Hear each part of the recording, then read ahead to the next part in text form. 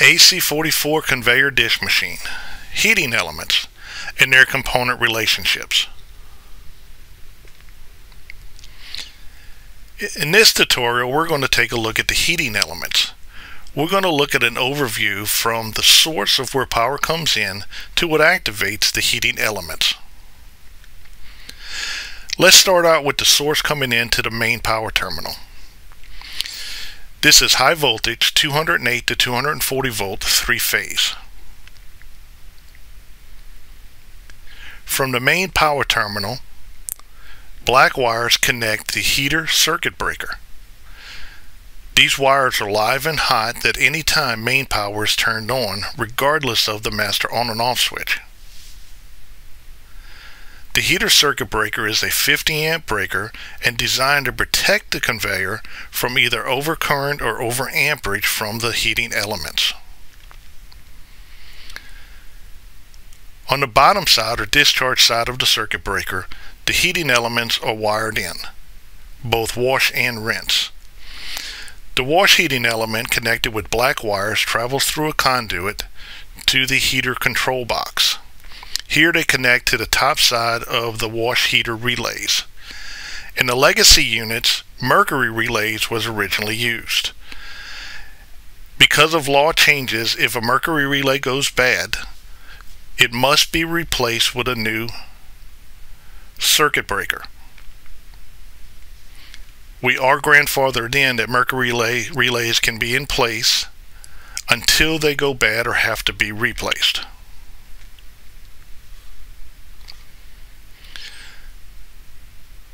The new units or replacing units are replaced with contactors. The contactors are designed that there is a delay relay attached to the bottom. This is to keep contactors from chattering when thermostats are bordering temperature lines.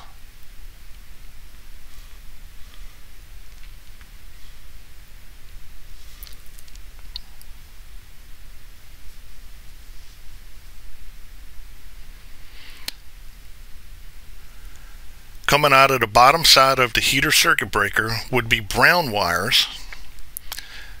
Brown wires will travel through a separate conduit to the heater control box and connect to the top side of the rinse heater relay. Again, in legacy machines, the old style mercury relays can still be in place until they go bad or have to be replaced. The old mercury relays are very reliable and very durable. When these are replaced, they are then replaced with the new contactors. Again, the delay relay is attached to keep the contactors from chattering.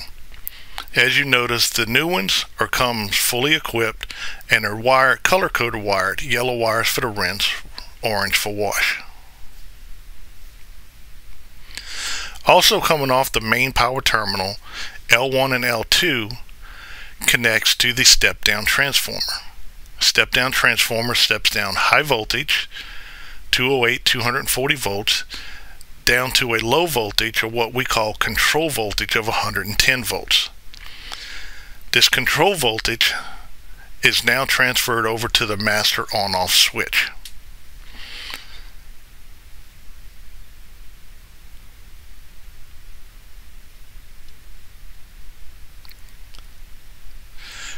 master on-off switch is turned on, it now supplies control power or low voltage power to the control voltage power terminal. This is the distribution block that controls all the switches within the dish machine. From the top side of the control terminal, a black wire wires into the rinse float switch. A separate black wire wires into the wash float switch. These are so that the switches can operate independently. When in the wash and rinse tanks are water displacement weights, or people better know them as floats. Water displacement weights are connected with rods that goes up through the machine to the float switches they control a lever that changes the direction of the micro switch. As the water displacement weights relieve pressure, it releases the lever and allows the micro switch to change positions.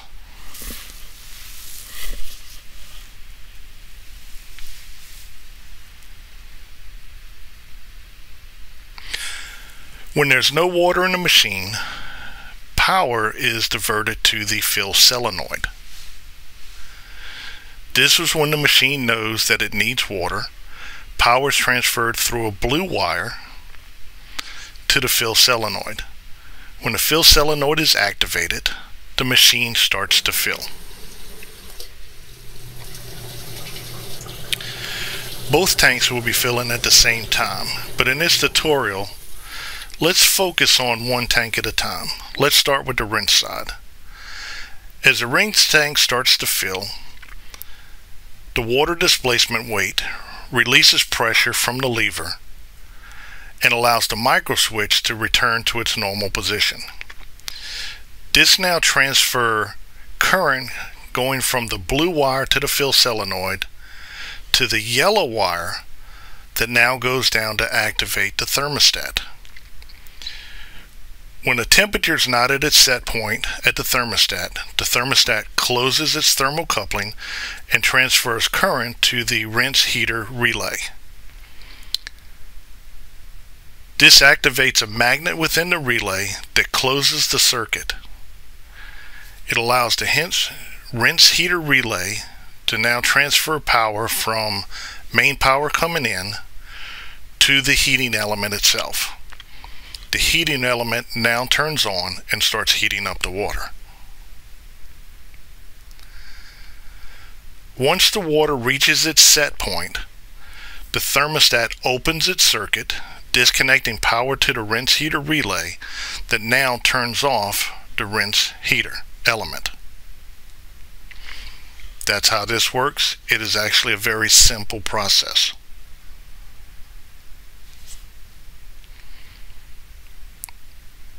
Now let's take a look at the wash tank. As the wash tank starts filling, again the water displacement weight releases the pressure from the lever located within the switch, float switch.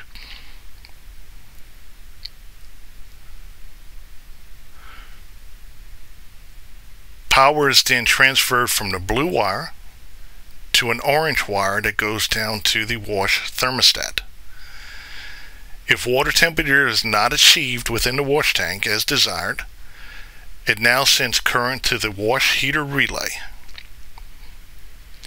At the wash heater relay, it energizes a magnet that closes the circuit, allows main power to flow through the relay to the heating element.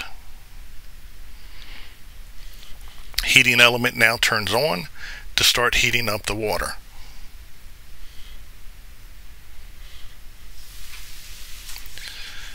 When the water temperature has been achieved, thermostat opens the circuit, stops current flowing to the heater relay, it turns off the heating element.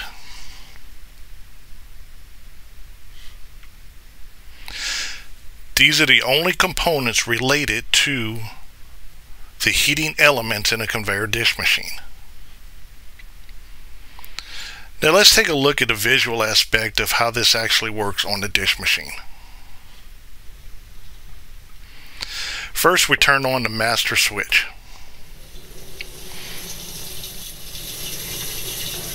When you turn on the master switch and there's no water in the tank, the float switches automatically send power to the fill solenoid that actually starts filling up the tanks. As their tanks are filling up,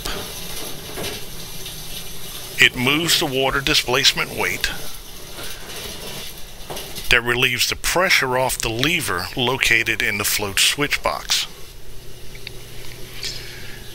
On the rinse side we're looking at, you can see how the lever relieves pressure off the micro switch, now sending power to the yellow wire. The yellow wire then transfers down to the rinse thermostat. To raise the temperature, turn counterclockwise. Power comes into one side of the thermostat. The other side then goes to the heater relay. On the wash side, as the tank is filling up, the water displacement weight relieves the pressure off the lever and allows the switch to change positions. It now transfers power to the orange wire that will go down to the wash thermostat. Same type of thermostat, turning counterclockwise will increase the temperature.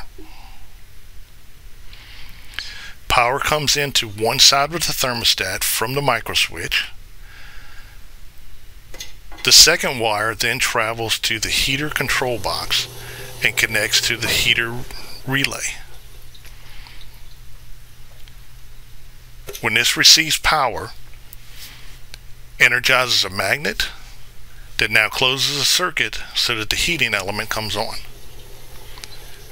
Once temperature has been achieved, the indicator light goes off and lets you know that the heating element has been turned off.